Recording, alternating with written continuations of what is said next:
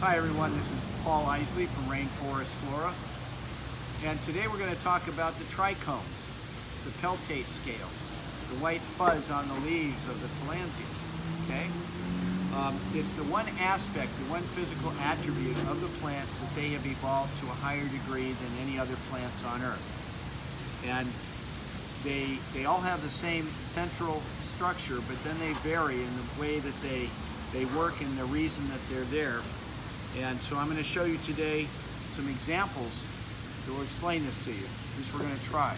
So here we have uh, five different species. We have Tillandsia xerographica. We have a hybrid called Show Me, which is Showtime backcrossed to Bulbosa gigante. We have Tillandsia crocata, Tillandsia graomogolensis, and Tillandsia cyanea.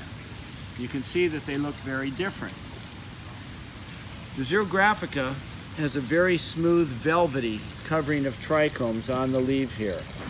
This is because in nature it grows in deserts where it gets very hot. So the trichomes have wings on each individual trichome and those wings in this species are horizontal to the leaf surface. There's a micro boundary of air created between the trichome wing and the leaf itself, the epidermis itself. And that little boundary layer of air helps to keep the plant cooler. On the other hand, you have these two, the graomogolensis and the crocata, and you can see how fuzzy they are.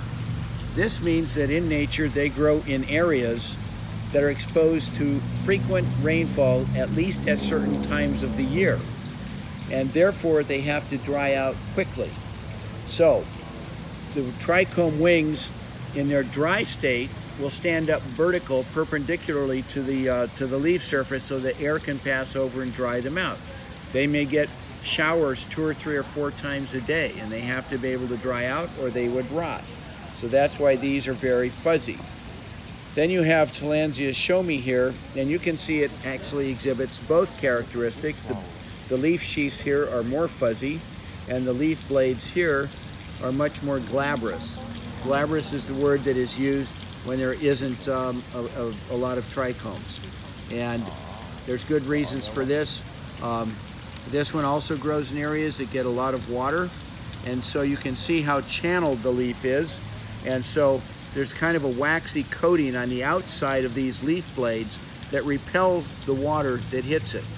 And then on the inside of the leaves, um, there is a lot more trichome there, but there's not much water that gets there. So that's how this deals with uh, abundant water in nature. And plus it tends to grow upside down so that the water runs off because again, there are times of the year when it gets a lot of rain.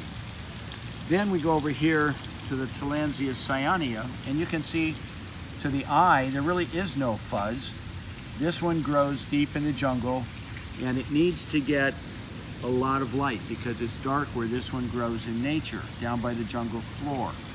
So the, the, the trichomes, besides helping to absorb water, they also reflect the extra sunlight that hits the plants.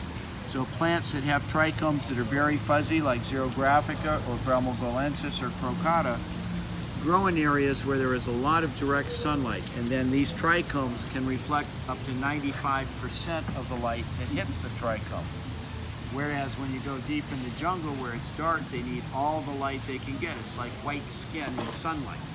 So these don't have much of a covering of trichomes that are at least visible to the naked eye and you have this green chlorophyll that shines through because the, um, the trichomes are diaphanous. They're very thin. You don't see them. So thank you for listening. Uh, this was a quick one today, and we'll see you next time around. Bye-bye.